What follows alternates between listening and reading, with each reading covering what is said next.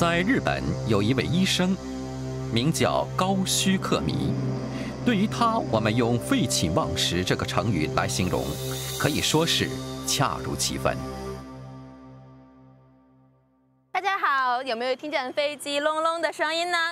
呃，是的，这里就是呃日本的玄关羽田机场，而我身后呢，就是去年五月份刚刚开呃刚刚对外开放的呃国际线航站楼。呃，因为这里呢，呃，飞机是被允许全天二十四小时随时的起飞和降落，所以呃，从全球大量的货物以及从各个国家呃来的人们都相聚在此。呃，据统计呢，每个月来日本呃呃来日本来访的外籍人员大概有八十万人左右，其中竟然有十五万人都是来自中国的游客以及呃商务人员。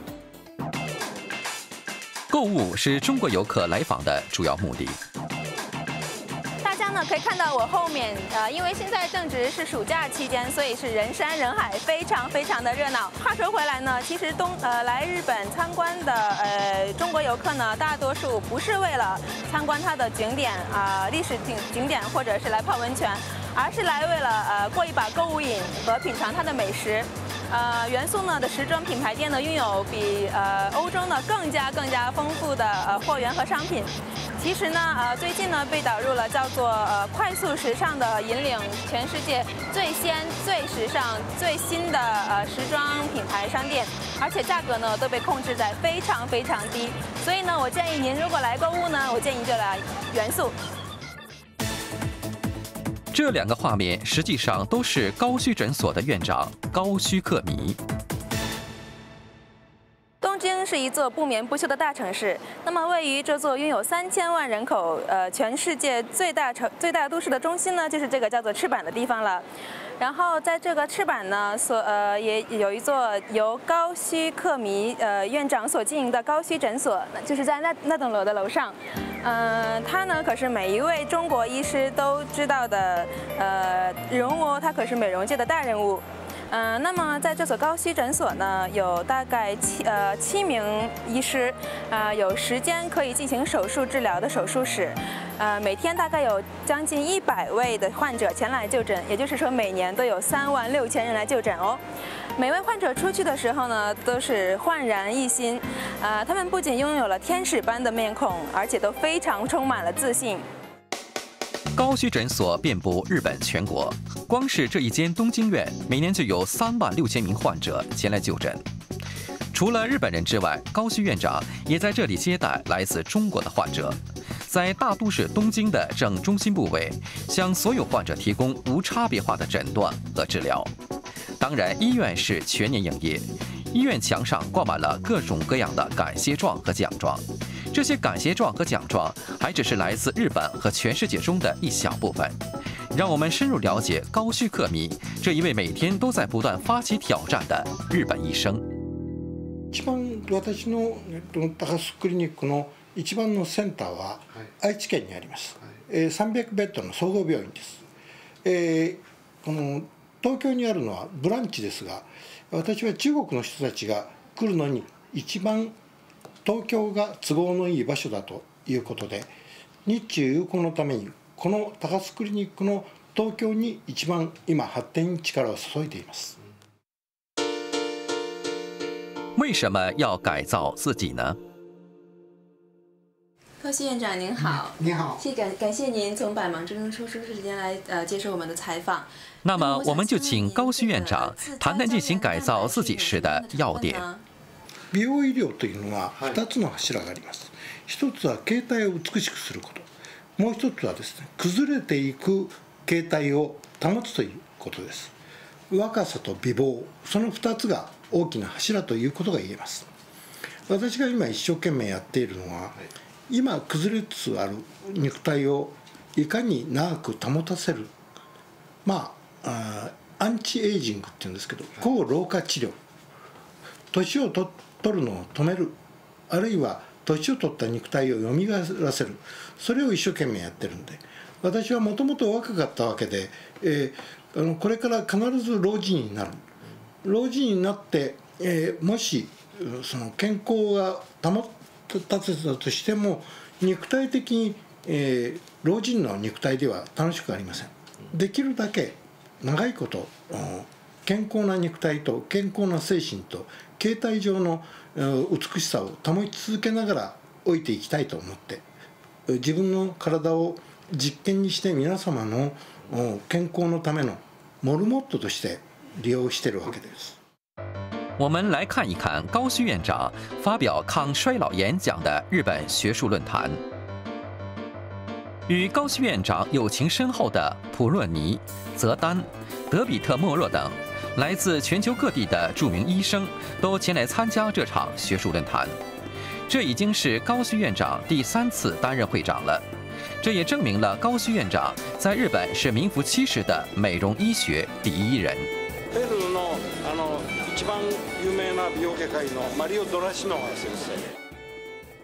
Yes, Takasu Clinic.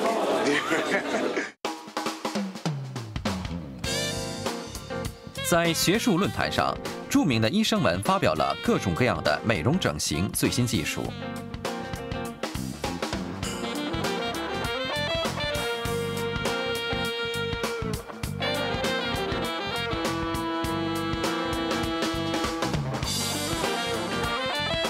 其中，中国医生对受到熊的袭击而失去半张脸的女性，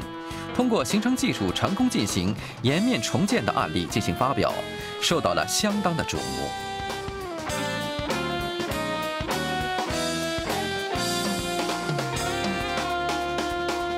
而在这场学术论坛上，最引人注目的就是学术论坛主持人高旭院长。首先，院长对目前美容医疗领域的状况进行了概括。然后，院长发表了他自己的肉体改造技术，该方法叫做脂肪雕刻技术。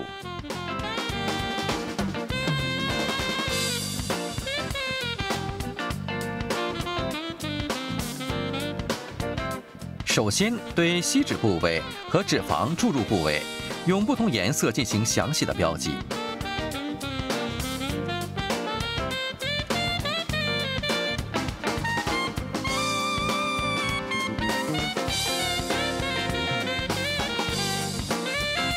这是对脂肪进行分解的超声波吸脂机 b e z a h e d i f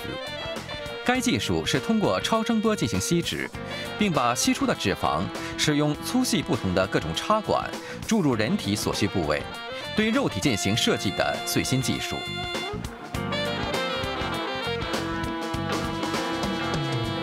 这就是术后效果：腹部的脂肪减少，胸肌变得发达。仿佛经常进行训练的体育选手的体型。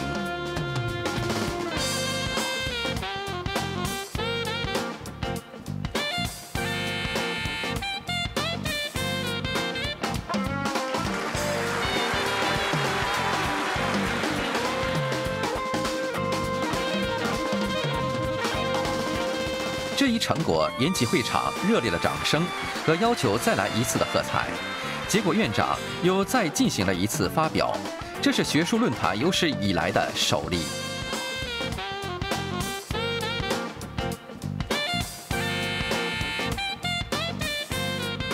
会场上，医生们围着高旭院长，亲手感触他的身体，对成果表现出了极大的兴趣。院长也毫无保留地脱掉上衣，引起了会场沸腾。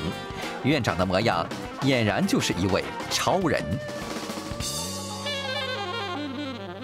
これごく当たり前のことですけどどんなビジネスにせよお客様に提供する前に自分で味見をし毒味をし自分で着てみて使ってみて安全なものを提供したいできることなら我が家の今発展しつつある若者たちが練習をしてでその技術を皆さんに提供しようというわけで一番最初に行う新しい治療というものを私はたまたま全部自分の体で実験してるだけです。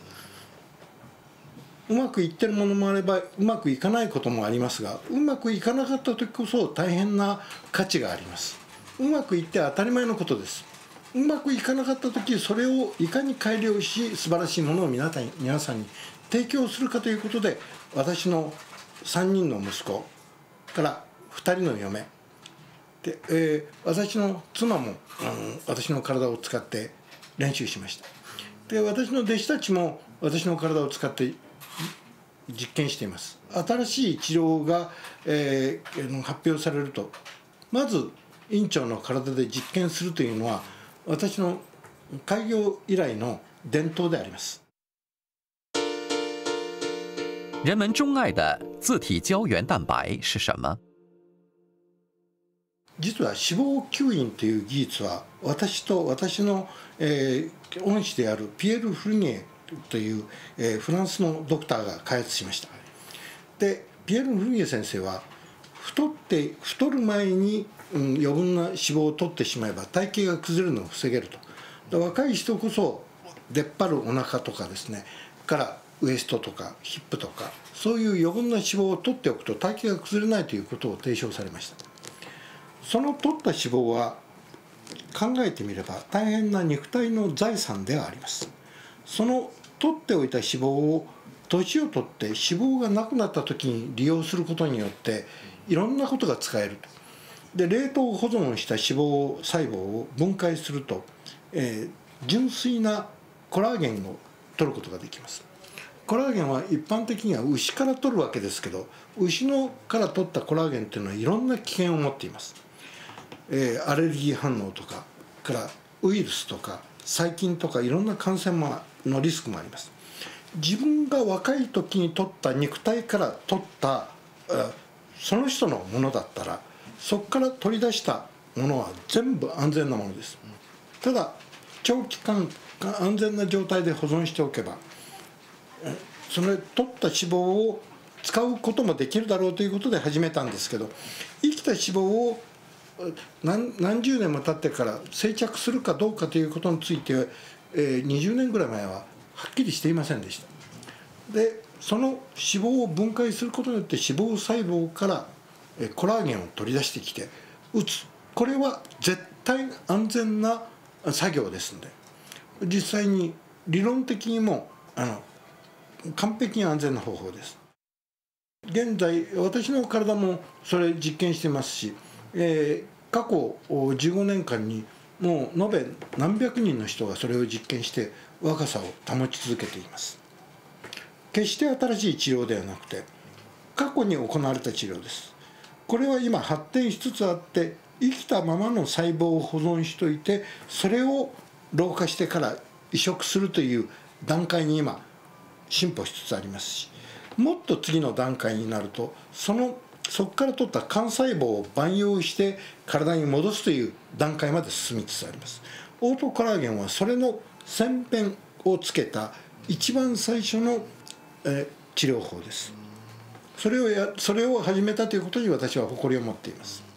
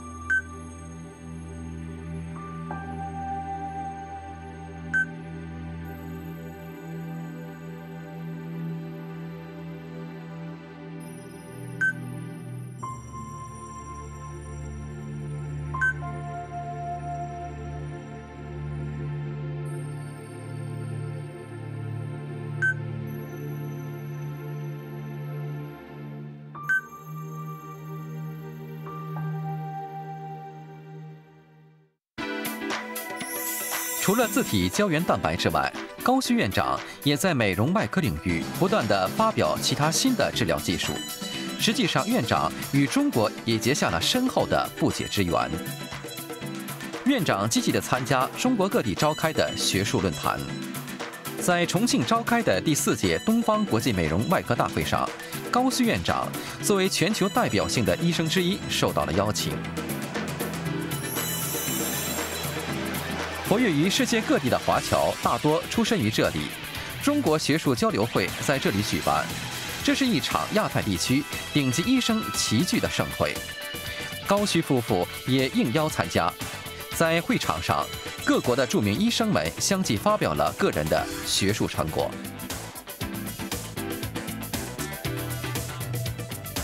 郑州作为黄河文明的发祥地，有着丰富的人文历史。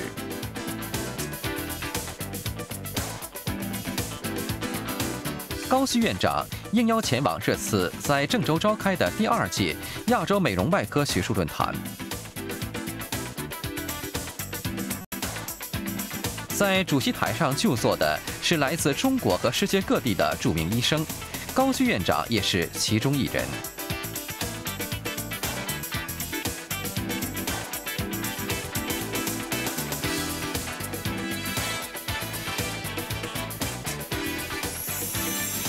里是中国的第四大城市沈阳，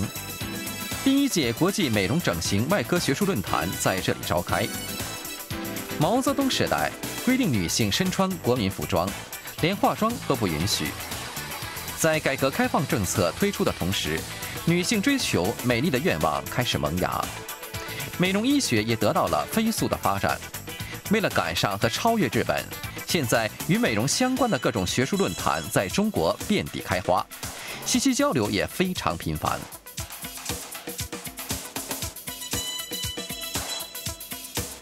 在中国，高须院长是行业的标志性人物，因此院长的发表非常受到中国医生们的关注。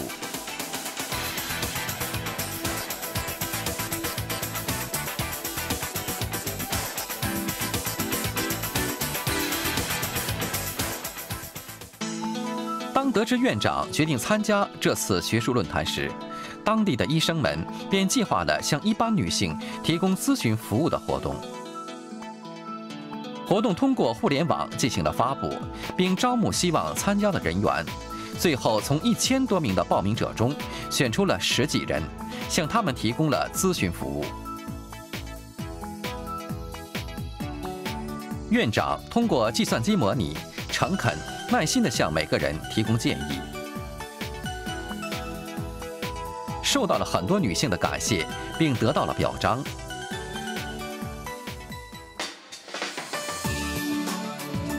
高旭院长和往常一样拜访地方名医，入口处的电子板上滚动着“欢迎高旭院长”的标语，院长受到了员工们的热烈欢迎。这次拜访的医院是沈阳最新的美容外科医院，九层楼的医院全部是美容外科，着实让人感到吃惊。其中还有面积广阔的审美牙科，院长在这里向患者们提供了适当的建议，因为他认为这是从事美容整形工作的整形医生的使命。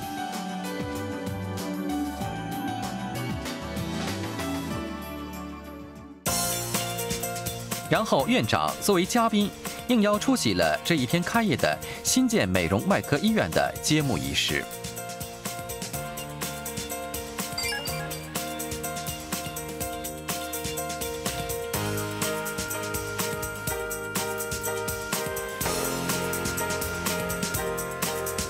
这里的医院设施豪华、清洁卫生，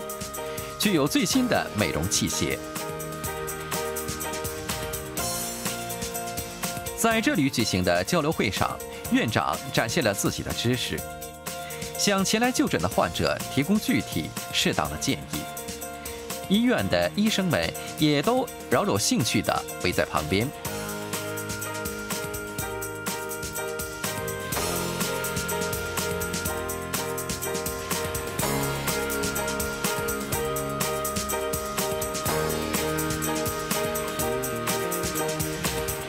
为答谢，医院赠送给院长一块鱼化石，据说化石在中国是最高的贵赠之一。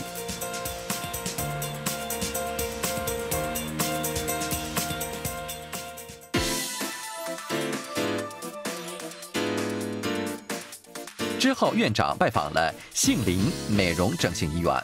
这所规模巨大的医院的院长是一位知名的美女医生。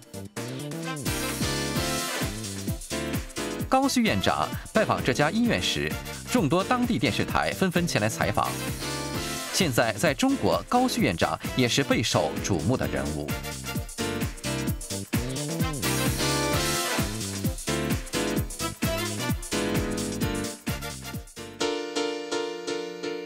什么是拉皮术？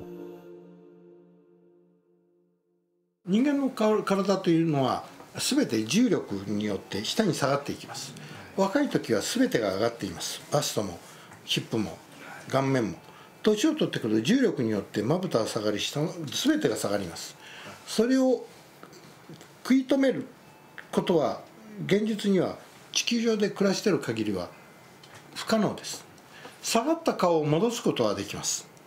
で一番最初に考えたことは余った皮膚を切り取って顔を仕立て直しするということでした。次の段階では皮膚はいくらでも伸びてしまうのであんまり持たない。中の組織を引っ張り上げてで余った皮を取るという段階に進みました。でもそれではあの、えー、大変な侵襲を加えることになります。そこで糸を入れて中を吊り上げて、えー、軽く上げてそれを長く持たせるという段階に進歩しました。しかしそれでは少ししか上がりません。今一番進んでるのは中に糸を入れて引き上げて余った皮を切り取るという方法が一番進歩しています。ただたるむ前に糸を埋め込むことによって予防することができるということで金の糸をメッシュ状に埋め込むことによって顔のたるみを防ぐという方法がまた別の分野であります。だから程度によってたるむ前に金の糸を埋め込む人少したるんだ時に糸をで吊り上げてたるみを防ぐ人うんとたるんだら吊り上げた後余った皮やえ脂肪を切り取って完璧に顔を仕立て直しする。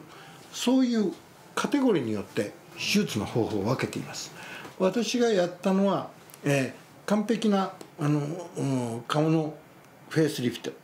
その後それをたるむことを再びたるむことを防ぐために金の糸が埋め込んであります。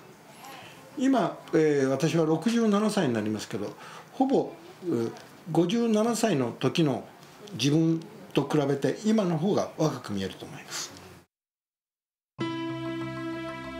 我们来实际看一下拉皮手术前和手术后的情况。拉皮手术有很多种类，但都是使用专用的丝线，把发生了下垂的女性的面部向上拉升。从法令纹、鼻子、嘴角的皱纹。和松弛程度可以看到很高的治疗效果。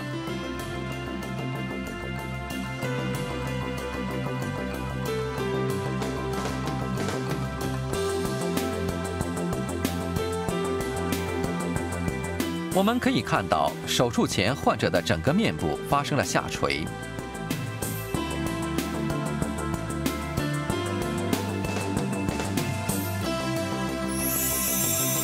手术后，整个面部被巧妙拉伸，恢复了青春活力。不用手术刀，只用针线进行的手术，也可以实现这样的效果。手术后休养时间短的最佳抗衰老美容方法，各位觉得怎么样呢？无论如何挽回青春，人体终究都会衰老，衰老时再度挽回青春就好。皆さんはあの若返り手術の時に顔が変わることを恐れていますけど若返り手術は顔は変わりません見たことのある顔に戻るだけです ただ生まれながらにえ年寄りだと思っている孫たちにとっておじいちゃんはハゲてるのが自然で顔がたるんでるばあちゃんが自然でで毛の生えてるおじいちゃんや顔のたるみのないおばあちゃんは不自然だと思うかもしれませんけどそれは孫が若い時のじいちゃんばあちゃんを知らないだけのことでしてどんなに若くなってもまたいずれは老けてきます。老けたらまた若返ればいいです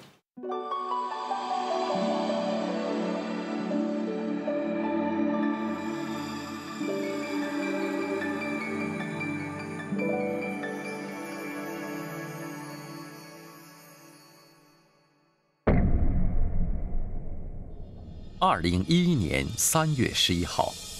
前所未有的东日本大地震灾害袭击日本，地震震级九级，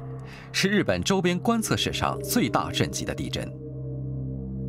地震引发了海啸，死亡和失踪人数约一万九千人，灾害损失超过二十五兆日元。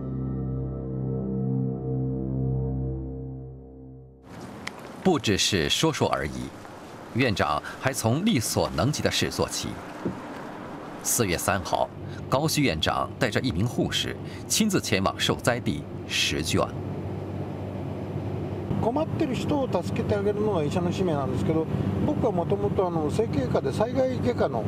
専門なんですよ 長いことお風呂に入ってなくてストレス多いとですね肌が衰えるんです。で顔つきが悪くなって肌が衰えると心がすさむんですよ。心がすさむとやっぱりストレスに弱くなる。のだからそういうあの保湿成分のあるあの化粧品も持ってきましたしみんなが気が付かないようなことをこちらで気がつけてついてあげると喜ばれるんじゃないかなということも考えてます。余震不断的石卷，唯一残留下来的十卷红十字医院，宛如战场一样。高居院长作为来自全日本的两百六十名医生之一，穿梭于避难所之间，医生数量不足，药品也缺乏。可是需要诊治的人却源源不断，渴求生存的人们，高须院长一心只想着一定要帮助他们。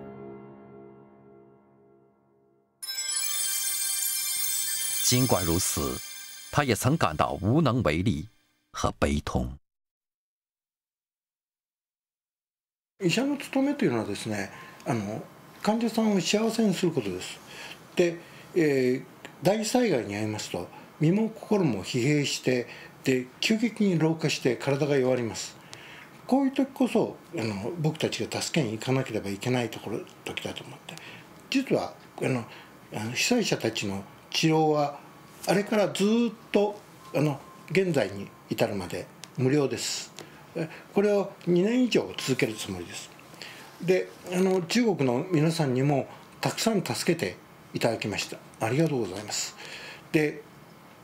前回の四川のあの大震災の時も僕も駆けつけるつもりだったんですけどなかなかあのチャンスがなくて行けなかったです。あの、えー、お互いその人間っていうのは助け合うことによって幸せになると。で若さと美貌と健康は全ての人に与えられた基本的な神から与えられた権利です。でもし自分が持っているものがあって誰か失うものがあったら常に分け与えることによってお互い幸せになります。実際に私たちは個々の人間だと思ってますけど実はみんなつながっています。中国のあの皆さんもあの日本にいる私たちも実は先祖は同じで兄弟です。で家族です。でお互い助け合うことによって幸せになれると思います。で美容外科はあの一般的にはそういうものとは無縁だと思ってますけど実際に働いてみてよく分かったのですがやはり弱って年大きい災害に遭うと急激に老化します。そういう人たちに若返るための治療をしてあげたりシミを取ってあげたりからハゲを 改善させてあげたりいろんなその見かけを健康そうにしてあげることをしてあげることによって生きる力が湧いてきて皆さん元気よくなりました。で美容外科は皆さんを幸せにするための幸福医学です。で第三の医学とも呼ばれていますこれから美容医学を発展させるために日中お互いに力を合わせて発展していきたいと念じています四月，高须院长才刚从试卷回来不久，又前往了巴布亚新几内亚。他是为了兑现承诺而来到这里。为了迎接高旭院长，整个村子就像过节一样。这是村里唯一的小学，那只是一个没有墙壁、任凭风吹日晒的教室。仅有的只是一块黑板，还有孩子们澄澈的眼睛。高旭院长来这里是为了给村里建一所小学，那是他和巴布亚新几内亚驻日大使的约定。高须院长相信，如果修建校舍，让孩子们能够安心学习，村里的生活就会改变，而这就是他能够为他们做的事。高须院长的梦想是将来能够看到有医生。从这里诞生。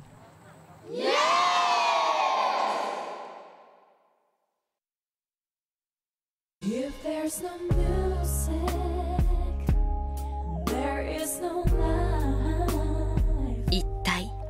何ができるのでしょう？何もできないと思っていました。あなたの気持ちで何かができます。何かをすることで誰かが助かります。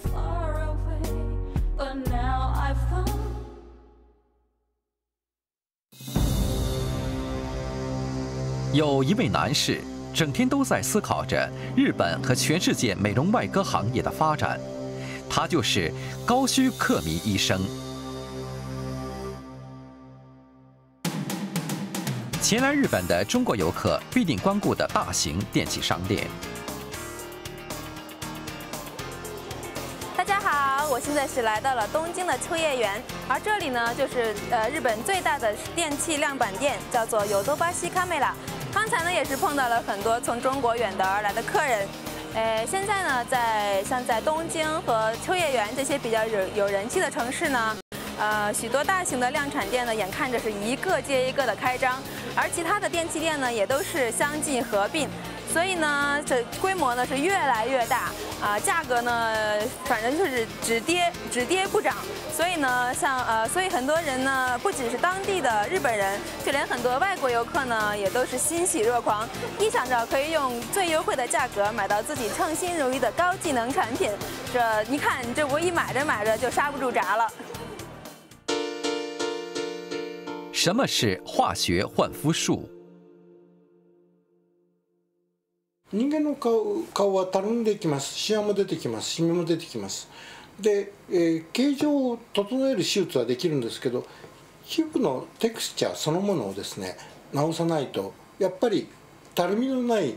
突っ張った汚い皮膚の人間になってしまうわけです。最終的に肌をきれいにしなきゃいけない。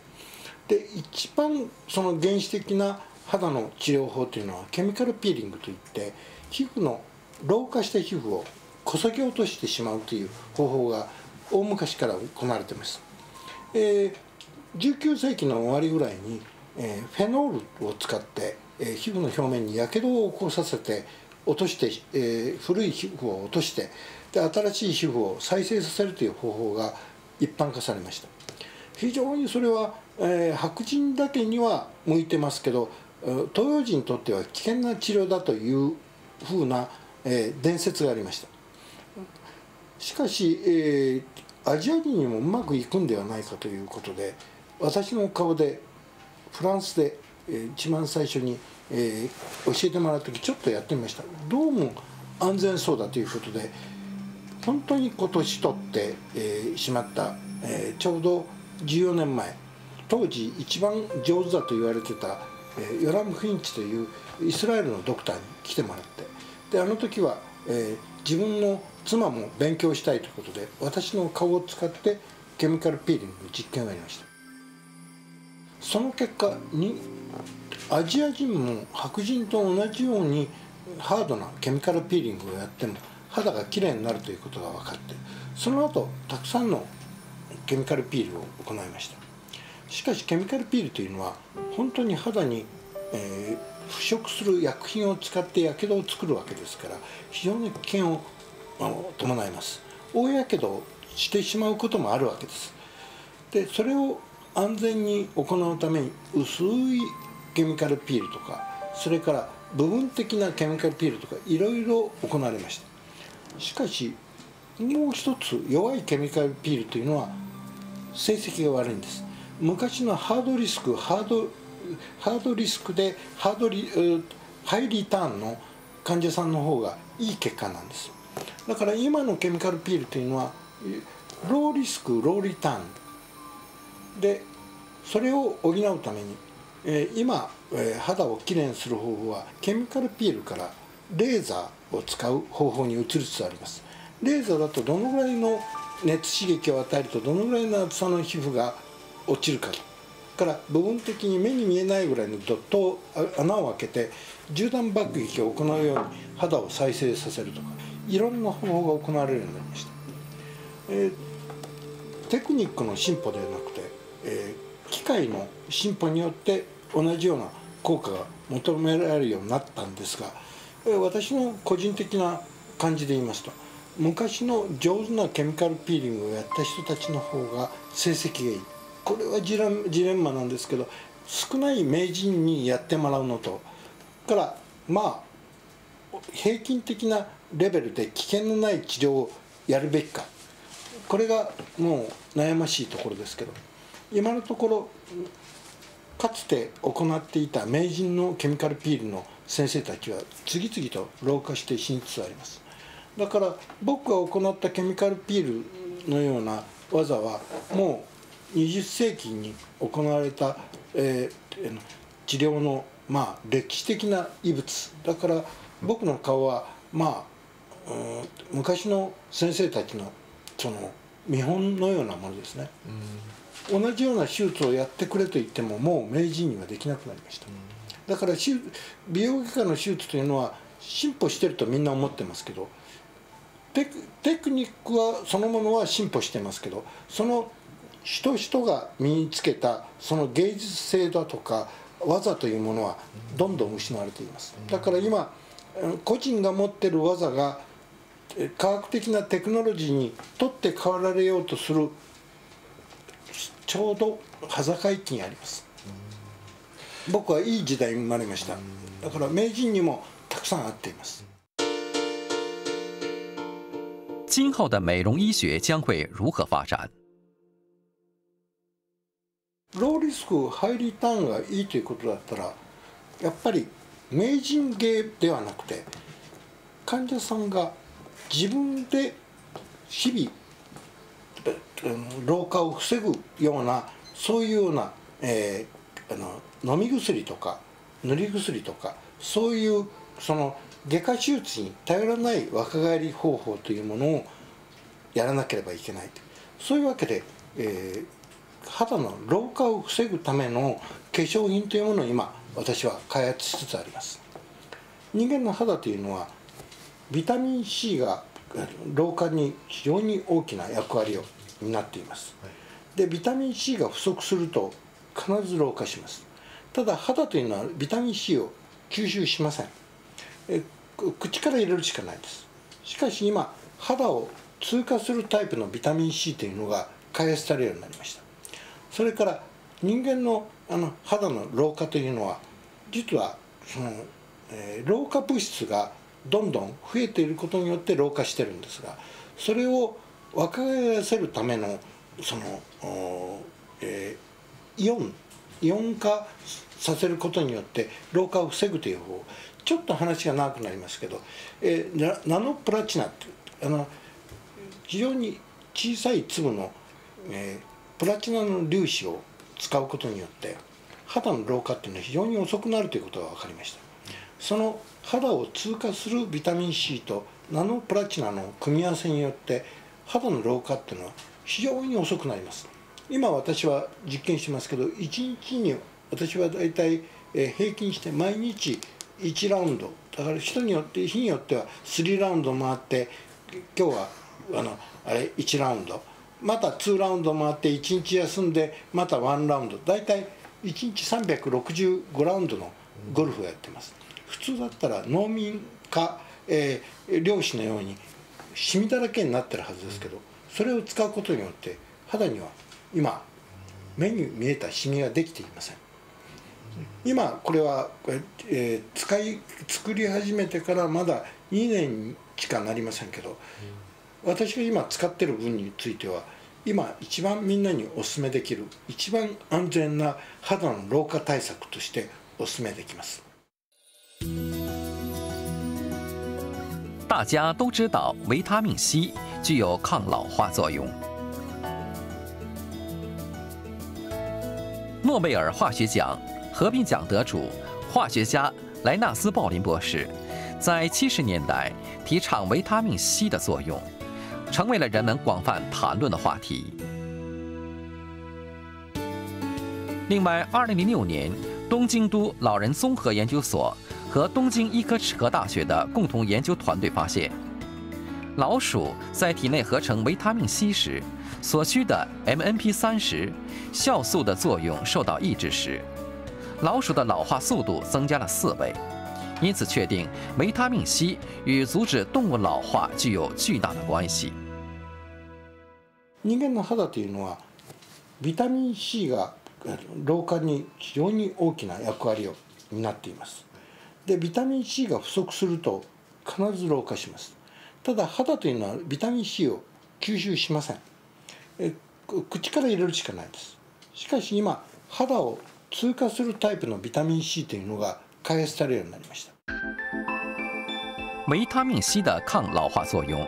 源于维他命 C 的抗氧化作用，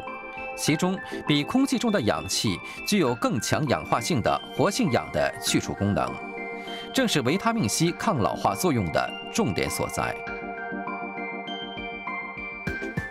这一活性氧去除功能引起了高须博士的注意，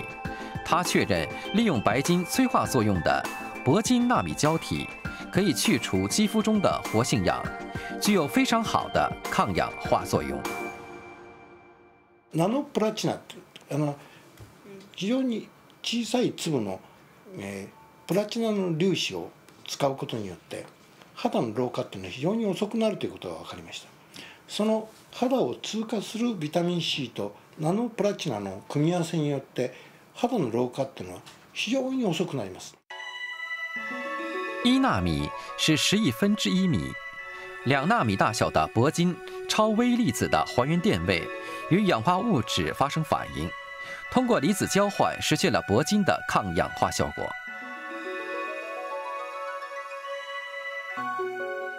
在铂金纳米胶体中加入维他命 C，制造出了具有惊人恢复青春作用的化妆水。Sibila Chinisto。是高浓度的经皮肤吸收型维他命 C 溶液中悬浮着铂金纳米胶体的化妆水。只要在皮肤上使用几滴，便会瞬间感到温暖。几分钟之后，便可以实际感受到皮肤开始变得湿润，皱纹开始减少。第二天早上，皮肤便会变得有弹性，暗沉减少，并产生透明感。ビタミン C が多く入ってるって聞いたので肌に浸透していく感じがすごい、えー、馴染みが良かったです。じんわりあったかくなって血行が良くなる感じでじわーっとビタミンが入っていく感じがよく分かりました。初めはベタっとしてるんですけれども時間が経つにつれてあの化粧水と美容液をつけることによってとても心地が良いです。シベラ・チュニスト并不是角质层保湿等临时性的皮肤护理，而是可以改变您肌肤的化妆水。一番安全な肌の老化対策としてお勧めできます。另外，高须诊所还成功实现了具有超越铂金功效的金纳米胶体的产品化，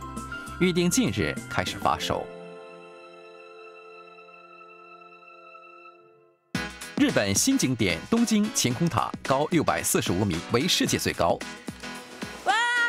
到我身后这座非常高的电呃非常高非常非常雄伟的塔，它就是今年六月份刚刚对外开放，有着世界第一高电波塔美誉的东京晴呃晴空树，呃也叫做天空树。呃，它呢是呃今年六月份开始到现在两个月的时间，已经接待了有一千万的游客哦。呃，那么到现在为止呢，大概是有呃每天有要接待二十万人的游客。那么登上塔登上塔顶最顶端的最顶端的那个呃观览台眺望东京的美景呢，是大概有每呃已经有八十万人了。我呢也是第一次看到这个树，所以呃这个塔，所以呢我是非常非常的激动。那么您带了来了东京呢，就一定要来这里哦。工作繁忙的高须院長其實保持了一項吉尼斯紀錄。限られた時間で自分の今までやってきたことを皆さんに 残していきたい。で年を食っても頑張ればこんなにできるんだよ。で被災地で弱っている僕より若いご老人たちにもですね、うん、60過ぎても70近くになっても頑張ればもしかすると70過ぎても世界記録が出せるんだよということをアピールするのは非常に皆さんにとって心強いそのメッセージになるだろうと思ってまあもしかしたら死んじゃうかもしれないなと思ってやったんですけど結果的に生き残っていいメッセージを送れたと思います。二零一一年，高须院长创造了一项世界纪录。八月一号，挑战的前一天，高须在这间别墅里，那里修建有果岭和沙坑，他在这里进行最后的调整。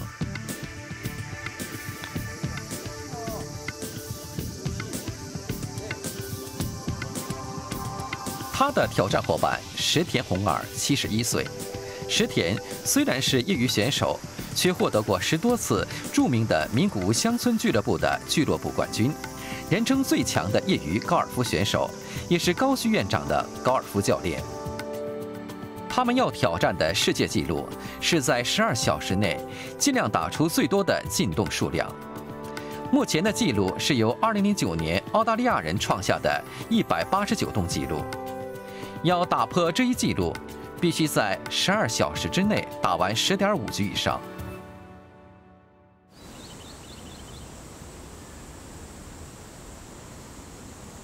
挑战在著名的金河乡村俱乐部展开。六十六岁和七十一岁的两人，为什么要向世界纪录发起挑战呢？みんなね、もう大体年食ってくるとね。記録にチャレンジすることはもう引退だと思ったでしょ今からですよ、うん、もう世の中のね年寄りにね力を与えてあげようと思ってそう日本の震災もあって大変な時期だけどもあの達成してみんなに頑張ってほしいなと早上五点挑战开始それではギネス世界記録12時間の挑戦をスタートします漫长的战斗开始了。石田打完一杆后，高须院长的球车立刻向落球地点冲去，然后立刻击球，连是挥杆时间都没有。 十二个小时之内就得一直这样的重复着，两人必须轮番击打同一颗球。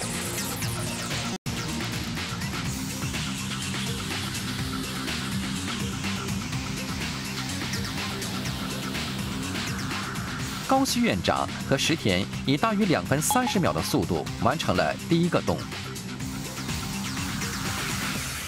打完就跑，跑完就再打。六十六岁和七十一岁的两人，为了达成世界纪录的目标，专心的在球场上奔走。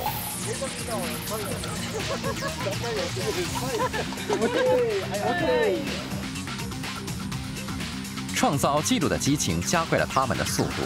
两人专注于挑战，只要不断的挑战，无论多大年龄都能保持青春。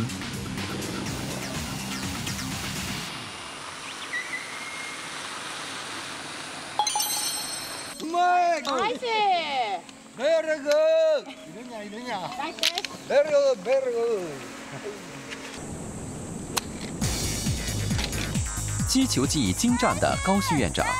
在盘四洞。以两杆攻上了国林。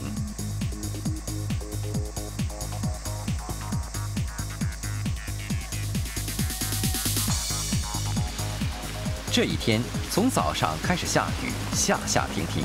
尽管是炎热的夏季，气温却不高，这是挑战记录最理想的条件。看来高须院长的运气也在支援他。不能休息，疲劳在不断加剧，支撑着他们的是对于创造记录的执着。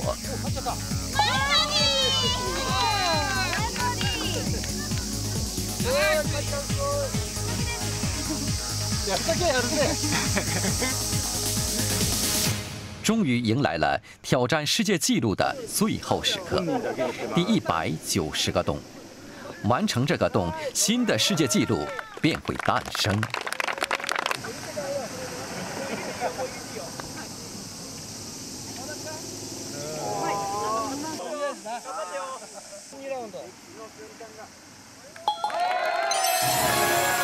从开始大约历时七个半小时，他们以令人吃惊的速度更新了世界纪录，作为吉尼斯的公认纪录，在高尔夫励志上增添了崭新的一页。今今までその世界はですね、その地域の文明を牽引している国がありました。かつては大英帝国が世界を支配していました。で長い間アメリカの文明が世界を支配していました僕の考えるにはこれからはアジアの時代だと思います。中国や日本や韓国や周りのアジアの人たちが一丸になってアジアが世界に新しい文明を広げていく時代時期になってると思います。その時期に美容外科の最先端を担えるということを私はもう誇りに思っています。これから一番発展してで世界を牽引していくのは僕は中国だと思っています。中国の皆さんに私の今まで手に入れた技術や知識をこれから残された余生を使って広めていきたいと思います。皆さんも恥ずかしがらずに僕にいろんな質問をしてください。チャンスがあれば全てをお教えします。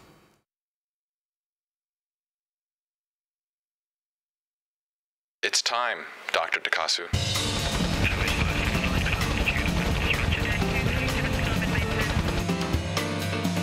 Let me see your smile. Don't give me grumpy bitter face. It's so terrible, so terrible. You're so selfish. Let me see your smile. Don't give me grumpy bitter face. You must be kidding me, just kidding me. Yes, Takasu Clinic. Me too, Takasu Clinic.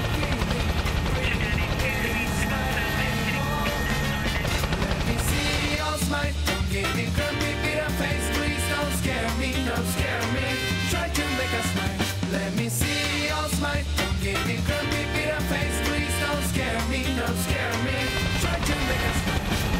Beautiful days coming to you. Yes, Takasu Clinic. Beautiful days coming to you. Yes, Takasu Clinic.